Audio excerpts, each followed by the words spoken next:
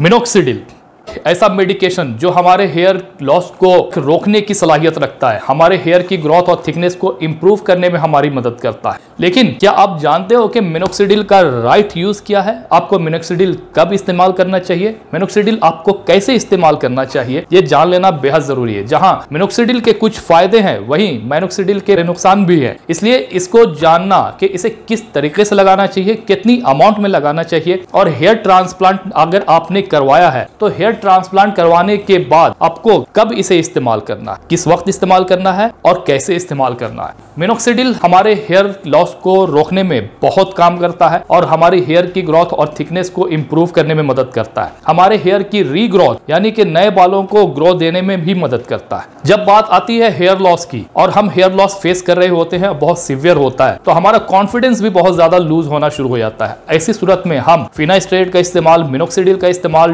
कुछ मेडिकेशन का इस्तेमाल ऑयल्स का इस्तेमाल फ्रिक्वेंट तौर पर करना शुरू कर देते हैं। ये जाने बगैर कि इसे इस्तेमाल कैसे करना है, जिसकी वजह से कहीं ना कहीं नेगेटिव इफ़ेक्ट भी आपके शरीर पर पड़ सकता है। मिनोक्सिडिल का इस्तेमाल आपका हेयर लाइन अगर पीछे चला जा रहा है, आपकी हेयर की जो थिनिंग है, वो ज़ाहिर हो रही है, दिख रही है तो आप इसे उस जगह पर लगाकर इस्तेमाल कर सकते हो। मिनोक्सीडिल स्प्रे में भी आता है फोम में भी आता है और ड्रॉपर में भी आता है। ये जो मेरे पास में है, ये स्प्रे में है और इसके साथ में ये ड्रॉपर भी आता है। आपको इस ड्रॉपर से इसे लेना है।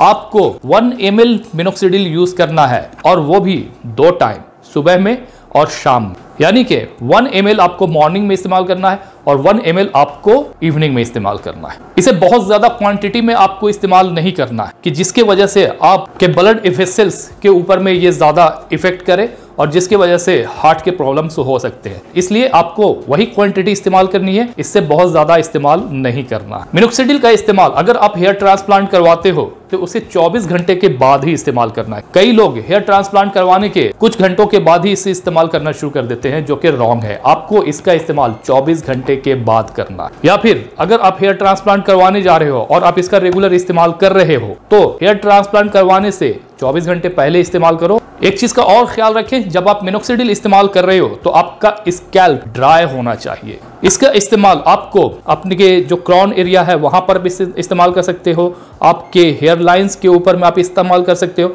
और आप इसे फ्रंटल एरिया या मिड एरिया में इसका इस्तेमाल कर सकते हो। दूसरी चीज़ मिनोक्सिडिल का इस्तेमाल करने के चार घंटे के बाद ही आप शैम्पू वगैरह करो तो ज़्यादा आपके लिए बेटर है। अदरवाइज़ ये वॉश ऑफ़ हो जाए तो फिर इसका कोई इफ़ेक्ट नहीं पड़ेगा। कई लोग मिनोक्सिडिल इस्तेमाल करने के बाद हेयर ड्रायर का इस्तेमाल करते हैं। दैट्स कंप्लीटली रॉन्ग आपको हेयर ड्रायर का इस्तेमाल नहीं करना चाहिए अगर आप मिनोक्सिडिल इस्तेमाल कर रहे हो तो। हाँ अगर आप इसे अपने हेयर्स को वॉश कर लेते हो तो उसके बाद आप हेयर ड्रायर का इस्तेमाल कर सकते हो। अदरवाइज़ लगाने के बाद आप इसे हेयर ड्रायर का इस्तेमाल ना करो।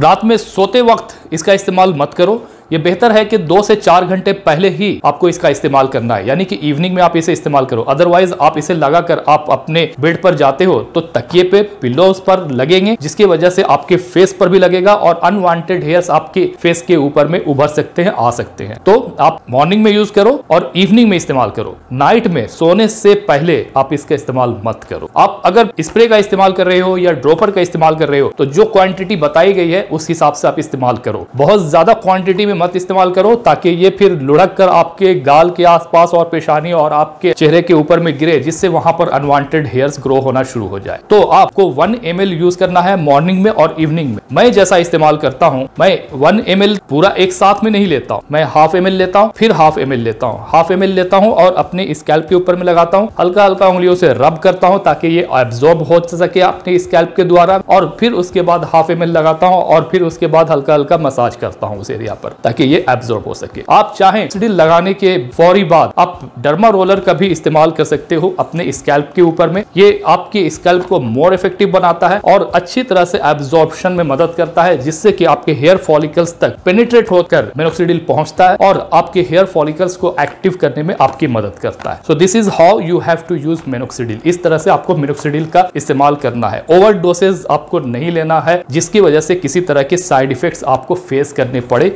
इन फ्यूचर इसलिए जितना रिकमेंडेड डोसेज है, उतना ही आपको इस्तेमाल करना चाहिए। महिलाएँ भी इस्तेमाल कर सकती हैं, अगर हेयर लॉस फेस कर रही हैं तो और पुरुष भी इसका इस्तेमाल कर सकते हैं और करते हैं। लेकिन मिनोक्सीडिल का इस्तेमाल अगर महिलाएँ करना चाहती हैं तो उन्हें टू परसेंट का इस्तेमाल करना चाहिए, और जो पुरुष हैं, वो फाइव परसेंट का इस्तेमाल, यानी मेन के लिए फाइव परसेंट का इस्तेमाल करना बेटर है। इसके अलावा अगर कोई क्वेश्चन हो, कोई सवाल हो तो नीचे कमेंट बॉक्स में ज़रूर लिखना, मैं आपको उसका रिप्लाई ज़रूर करूँगा। मिलते हैं इसके साथ ही दूसरे वीडियो में, तब तक के लिए बाय टेक केयर चैनल पर नए हैं तो चैनल को सब्सक्राइब करना मत भूलिए।